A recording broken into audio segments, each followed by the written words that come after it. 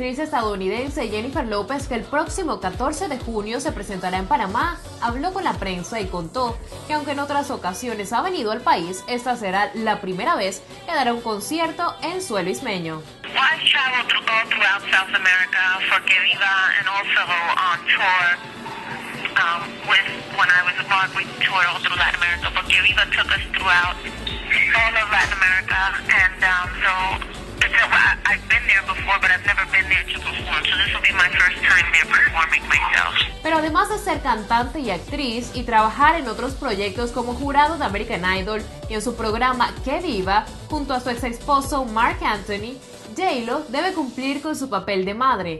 Desde 2008 también se dedica a cuidar a sus hijos.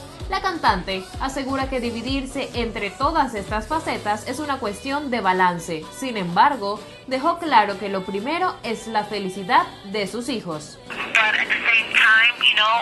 put them first, they come first, their needs, you know, their happiness, make sure that they're okay. I have a lot of family who helps me with them, and, and then I just, you know, try to do my work. I mean, it's a beautiful time in my career as well. So I just try to balance it where they, you know, always feel like they're taken care of and mommy's here.